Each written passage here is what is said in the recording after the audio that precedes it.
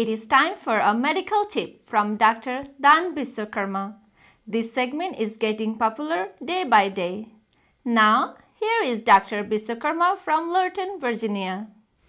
नमस्कार म डाक्टर दान विश्वकर्मा सदा झैँ आज पनि म यहाँहरूलाई हेल्थ सम्बन्धी जानकारी लिएर आएको छु आज म यहाँहरूलाई थाइरोइड ग्ल्यान्डको रोगको बारेमा चाहिँ केही जानकारी दिँदैछु थाइरोइड ग्ल्यान्ड हाम्रो शरीरको हाम्रो घाँटीको दायाँ बायाँ दुवैतिर हुन्छ र यसलाई चाहिँ एउटा भागले चाहिँ जोडेको हुन्छ र यसको आकार चाहिँ यो हाम्रो पुतलीको जस्तो देखिन्छ। र यो थाइरोइड ग्ल्यान्डले हर्मोनहरू निकालेको हुन्छ। त्यो हर्मोनले हाम्रो शरीरको मेटाबोलिजमलाई चाहिँ कन्ट्रोल गर्छ। यदि यो हर्मोन प्रडक्सनमा चाहिँ कम अथवा बढी भयो भने यसले विभिन्न किसिमको रोगहरू ल्याउँछ। र त्यसको अलावा त्यो हर्मोनसँग मात्रै रिलेटेड नभएर हर्मो यो ग्ल्यान्डको चाहिँ ऊ बढ्ने साइज नै बढ्ने जसलाई हामी गलगाँड भनेर भनिन्छ गोइटर भनेर भनिन्छ त्यो हुने। त्यसै गरेर यसलाई चाहिँ यो यो ग्ल्यान्डलाई पनि क्यान्सरले अट्याक गर्ने हुन्छ। त्यस्तै गरेर इन्फ्लमेसन इन्फेक्सन भन् हुन्छ थाइरोइडाइटिस भनेर भनिन्छ। यसको विभिन्न किसिमको रोगहरू हुन्छ। तर आज म यहाँहरूलाई चाहिँ हर्मोनको कमी यसले प्रड्युस गर्ने हर्मोनको कमीले गर्दा के हुन्छ र यसले बढी हर्मोन प्रड्युस गर्यो भने के हुन्छ भन्ने बारेमा चाहिँ जानकारी गर गराउँदैछु। यदि यो ग्ल्यान्डले यो ग्ल्यान्डले चाहिँ प्रड्युस गर्ने हर्मोनहरू जस्तै हामीलाई थाइरोक्सिन भन्ने त्यस्तै गरेर चाहिँ ट्राई आयो आयोडो थाइरोनिन भन्ने हुन्छ त्यो दुईवटा ग्ल्या हर्मोनहरू प्रड्युस गर्छ। यो ग्ल्यान्डहरूले चाहिँ यो हर्मोनले चाहिँ हाम्रो मेटाबोलिजमलाई कन्ट्रोल गर्छ। र यदि यो हर्मोनहरू दुईवटा हर्मोनहरू चाहिँ हाम्रो शरीरमा कम भयो भने त्यसलाई त्यसले चाहिँ एक किसिमको चाहिँ लक्षणहरू प्रड्युस गर्छ जसलाई हामी हाइपोथाइरोइडिजम भनेर भनिन्छ। भने यदि ती दि अ, यो दुईवटा हर्मोनहरू चाहिँ बढी प्रड्युस भयो भने त्यसले अर्कै खालको लक्षणहरू चाहिँ प्रड्युस गर्छ। त्यसलाई चाहिँ हामी हाइपरथाइरोइडिजम भनेर भनिन्छ। हाइपोथाइरोइडिजम यो चाहिँ एक किसिमको अति नै कमन मेटाबोलिक डिजिज हो। थाइरोइड हर्मोन कम भएर हुने चाहिँ डिजिज हो। प्रायः यो चाहिँ यो अमेरिकन लाइफमा चाहिँ अति नै डायग्नोस भइरहेको हुन्छ। अहिले त हाम्रो नेपालमा पनि अति नै डायग्नोसिस भइरहेको हुन्छ।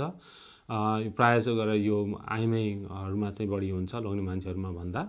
र यसको लक्षणहरूमा चाहिँ यदि यो था टी फोर अथवा जसलाई हामीलाई थाइरोक्सिन भनेर भनिन्छ र T three triiodothyronine भन्ने भनिन्छ।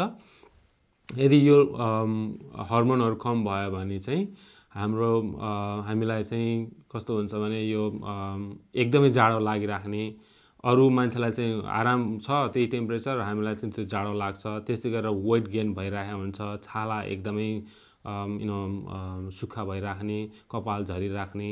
त्यस्तै गरेर हाम्रो चाहिँ यो मुटुमा खबा खराबीहरू आउने कोलेस्ट्रोलहरूमा प्रब्लम आउने मसल एकहरू भइराख्ने जोइन्ट एक भइराख्ने सबैभन्दा महत्त्वपूर्ण कुरा त के हुन्छ भने मान्छेहरूलाई चाहिँ डिप्रेसन हुन्छ र मेन्टल्ली फङ्सन चाहिँ गर्न सक्दैन भने कुराहरू चाहिँ बिर्सिराख्ने हुन्छ।